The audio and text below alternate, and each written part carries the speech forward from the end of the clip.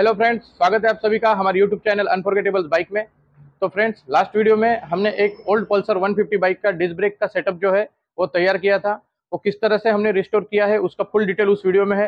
तो उसी सेटअप को आज हमने इस बाइक में फिट कर लिया है और इस बाइक को फिटिंग करते टाइम हमने क्या क्या चेंजेस किए हैं और उसमें क्या क्या बदलाव करने हैं और किस तरह से वो परफेक्ट वर्क करेगा, इसका फुल डिटेल हम आज आपके साथ शेयर कर रहे हैं।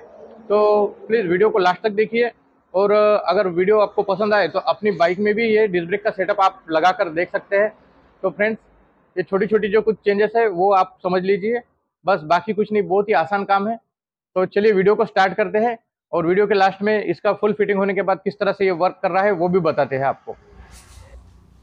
तो देखिए फ्रेंड्स ये ओल्ड मॉडल का जो सेटअप है, वो देखिए कितना आराम से हमारे यामा के सेटअप में फिट हो रहा है। तो ये हमारा आर एक्स हंड्रेड का ऊपर का टी और नीचे का टी पुराना सेटअप वैसा का वैसा ही है। उसमें हम खाली ये पल्सर 150 ओल्ड मॉडल के शॉकअप जो है वो फिटिंग कर रहे हैं। तो देखिए कितने आराम से फिटिंग हो रहे हैं।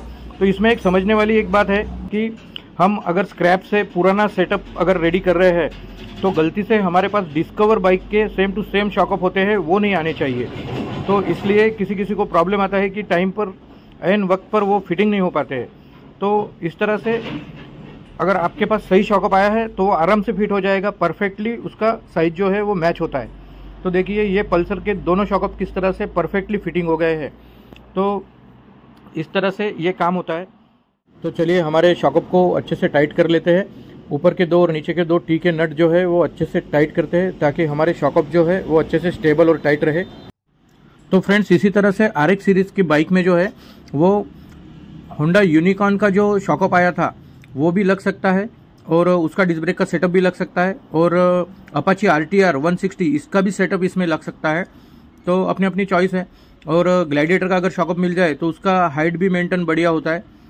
तो इस तरह से अपनी चॉइस के हिसाब से आप कोई भी एक सेटअप जो है वो लगा सकते हैं। तो अभी इसके मडगार्ड को जो है वो फिटिंग कर लेते हैं। इसको हमने पहले से ही थोड़ा इसमें जो एक अल्टरनेशन था, वो हमारे पुराने वीडियो में बताया है, और उसको हमने तैयार कर लिया है। तो इसमें जो है फ्रेंड्स 12 नंबर के नट्स लगेंगे। तो 12 नंबर के एलिंग की बोल्ट जो है, वो हमने इसके लिए तैयार कर लिए है। और हमारी जो आर एक्स हंड्रेड बाइक या 135 बाइक जो है, उसमें 10 नंबर के नट्स आते हैं। तो ये छोटा सा चेंज है, वो हमें करना पड़ेगा। तो चलिए इसको पहले पूरा कंप्लीट फिटिंग कर लेते हैं। तो फ्रेंड्स आर एक्स हंड्रेड का जो फ्रंट व्हील होता है, वो दो पचास अठारह नंबर का होता है। तो फ्रंट व्हील का जो टायर है, वो दो पचास अठारह नंबर का हमने कॉन्टिनेंटल जीटी कंपनी का अमेजोन से लिया है। तो मेट्रो प्रोवाइड करता है इसे और ये टायर काफ़ी अच्छा होता है। तो फ्रेंड्स इसके बाद जो है, हमने क्रोम करके इसके स्पोक और इसका पुराना जो 18 नंबर का रिंग है, उसे ही यूज़ में लिया है। तो इस तरह से हमने पुराना ही स्टॉक कंडीशन रखने का पूरा प्रयास इसमें किया है। तो ये इसका एक्सेल जो है, वो देखिए, ये पल्सर 150 बाइक का एक्सेल, इसमें आराम से फिट हो जाएगा, क्योंकि शॉकअप भी 150 बाइक की होने की वजह से हमें एक्सेल प्रॉपर उसी बाइक का लेना पड़ेगा। तो चलिए अभी इसके फ्रंट व्हील को फिटिंग करते हैं। तो इसमें हमने जो है, इसका ये डिस्क ब्रेक साइड का जो डिस्टेंस होता है, उसे बिल्कुल कट नहीं किया है। उसे सेम टू सेम ओरिजिनल रखा है। और, ज़रूरत के हिसाब से हमने पहले मैच करके देखा। और ये जो वर्म है, इसका बाहर का साइड थोड़ा सा घस लिया है। आप भी टाइम पे ही उसको, अपने डिस्टेंस के हिसाब से उसको मैच करके कट कीजिए। क्योंकि ज़्यादा कट हो जाएगा तो लूज़ भी नहीं होना चाहिए। इस हिसाब से उसको बस चेंज करना है। बाकी हमारा सेटअप जैसा के वैसा उसमें फिट हो जाएगा। पल्सर 150 बाइक का जो डिस्क ब्रेक सेटअप है, वो बड़े आराम से इसमें फिट हो जाएगा। इसमें कोई ज़्यादा दिक्कत वाली बात नहीं है। ये हल्के हल्के प्रेस करने से ही देखिए एक्सेल जो है आराम से बिना किसी ठोक फिटिंग के फिट हो जाएगा। हमारा एक्सेल अभी हम फिट कर लेते हैं। देखिए, बड़े आराम से चला गया अंदर। तो इस तरह से जो है, इस व्हील की फिटिंग होती है। आप चाहे तो खुद भी अपने बाइक का जो डिस्क ब्रेक का सेटअप है वो फिटिंग कर सकते हैं। इसमें कोई बड़ी रॉकेट साइंस वाली बात नहीं है। मैं भी कोई प्रोफेशनल मैकेनिक नहीं हूँ। मैंने अपने बाइक का जो काम है एक एक करके पूरी तरह से कम्प्लीटली सीख लिया है। अगर आप भी अपने आर एक्स हंड्रेड बाइक से प्यार करते हैं और उसे मेंटेन रखना चाहते हैं तो थोड़ा बहुत काम आपको भी खुद आना चाहिए। इसलिए फ्रेंड्स थोड़ा थोड़ा काम जो है वो खुद करते रहना चाहिए, तभी बाइक हमारी मेंटेन रहेगी और इससे जो है हमारी बाइक का लगाव भी अच्छा बना रहेगा। और हमारे सभी आर एक्स लवर्स जो है, वो अपनी बाइक का काम, बहुत सा काम जो है, वो खुद जानते हैं। तो देखिए व्हील बढ़िया से फ्री घूम रहा है। इस तरह से परफेक्ट हमारा काम हो गया है। तो पुराना ब्रेक सेटअप जो था लीवर के साथ उसे बाहर निकाल लेते हैं। कंप्लीट केबल के साथ, ये अभी हमारे फ़िलहाल काम का नहीं है। तो हम इसकी जगह अभी मास्टर सिलेंडर और होस पाइप जो होता है, वो फिटिंग कर लेते हैं। तो देखिए, अभी ये हमने जो मास्टर सिलेंडर लिया है, वो पल्सर का ही प्रिकॉल कंपनी का है। और ये हमने नया लिया है क्योंकि सिलेंडर का वर्क जो है, वो अच्छा प्रॉपर चले, इसलिए हमने इसमें कोई जोखिम नहीं ली। ये हमने शोरूम से नया ले लिया था। ये लगभग बारह सौ, साढ़े बारह सौ रुपये का पड़ता है। तो चलिए, इसको अभी फिटिंग कर लेते हैं। हमारे मास्टर सिलेंडर की फिटिंग के बाद इसका एक्सलेटर भी फिटिंग कर लेते हैं। ये हाउस पाइप भी पल्सर 150 बाइक का है। तो इस तरह से हमारा हाउस पाइप जो है, ये टी के साइड से ही नीचे साइड जाएगा।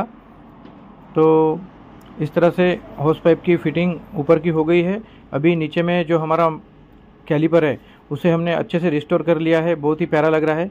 इसका जो नट है, वो अच्छे से कस लेते हैं। इस तरह से हमारे होस की फिटिंग कंप्लीट हो जाएगी। तो अभी हमारे व्हील का परफॉर्मेंस देखिए। ऑयल फिल भी हो चुका है। अभी देखिए, इसका व्हील का वर्क बहुत ही परफेक्ट और बढ़िया फ्री चल रहा है। ये हमारा वरम केबल है, ये पल्सर 150 ओल्ड मॉडल का है। ये वरम केबल जो है, इसे फिटिंग कर लेते हैं। ये बड़े आराम से नीचे की साइड और ऊपर की साइड फिटिंग हो जाएगा। तो इसे सबसे पहले हमारे वरम में लगा लेते हैं। तो इस तरह से अभी हम इसको मीटर के साथ भी फिट कर लेते हैं। तो फ्रेंड्स, इस तरह से हमारा जो ये सेटअप का फिटिंग है, आज ये कंप्लीट हो जाएगा। और अगर आपको ये वीडियो अच्छी लगे तो प्लीज़ लाइक, शेयर और सब्सक्राइब ज़रूर कीजिए और अपने बाइक के साथ ज़रूर ट्राई करके देखिए। बहुत ही आसान फिटिंग है। तो ठीक है फ्रेंड्स इसका अभी आपको एक पूरा फिटिंग के बाद इसका मीटर वर्क और इसका शॉकअप का वर्क भी आपको दिखाते हैं। तो देखिए फ्रेंड्स हमारा स्पीडो वरम है, वो भी काम कर रहा है इस वक्त।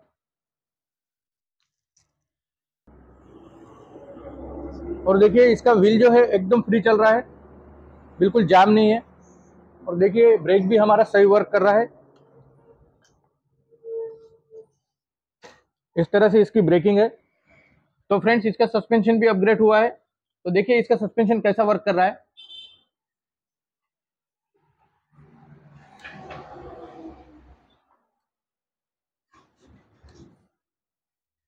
तो इसका सस्पेंशन जो है, वो भी बहुत बढ़िया वर्क कर रहा है।